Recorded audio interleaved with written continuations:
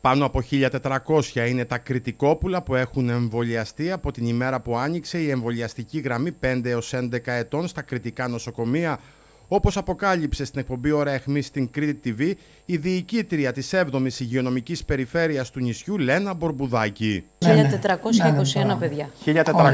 1421 παιδιά λέει η κυρία Μπορμπουδάκη έχουν εμβολιαστεί. Ορίστε, λοιπόν, ακούστε ακριβή αριθμό, ναι. Πάντως τα πρώτα δεδομένα από τους παιδικούς εμβολιασμούς στην Κρήτη αποτυπώνουν ότι οι παρενέργειες είναι σχεδόν ίδιες με τις παρενέργειες που προκαλούν όλα τα εμβόλια χωρί να υπάρχει λόγος ανησυχίας, όπως τονίζει ο καθηγητής παιδιατρικής και διευθυντής της Παιδιατρικής Κλινικής του Πανεπιστημιακού Νοσοκομείου Μανώλης Γαλανάκης. Ναι, το εμβόλιο δεν κάνει σοβαρές παρενέργειες, δεν είναι μόνο βιογραφία, είναι δική μας εμπειρία. Από το χέρι δηλαδή μιλώ από δικά μας στοιχεία ότι το εμβόλιο αυτό δεν.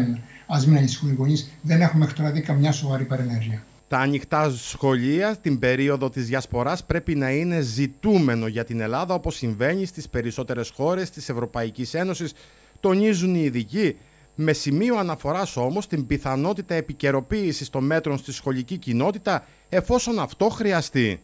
Θα πηγαίνουν έρχονται οι γονείς στις εργασίες τους, θα υπάρχει κινητικότητα. Εάν λοιπόν τα παιδιά πάνε στο σχολείο, κανονικά αυτό πρέπει να γίνει, διότι βέβαια θα τεθούν κάποιοι διαφορετικοί όροι, ίσως περισσότερα τεστ, που είναι πολύ σημαντικό, ε, οπωσδήποτε τα μέτρα ατομικής προστασίας με μεγαλύτερη προσοχή. Αυτή τη στιγμή συμφωνώ με την κυρία Παγώνη ε, το και με τον κύριο Γαλανάκη. Το κλείσιμο των σχολείων είναι κάτι το οποίο θα έπρεπε να, να μην υπάρχει ε, στη συζήτησή μας. Έπρεπε να είναι αυτονόητο ότι τα σχολεία θα ανοίξουν.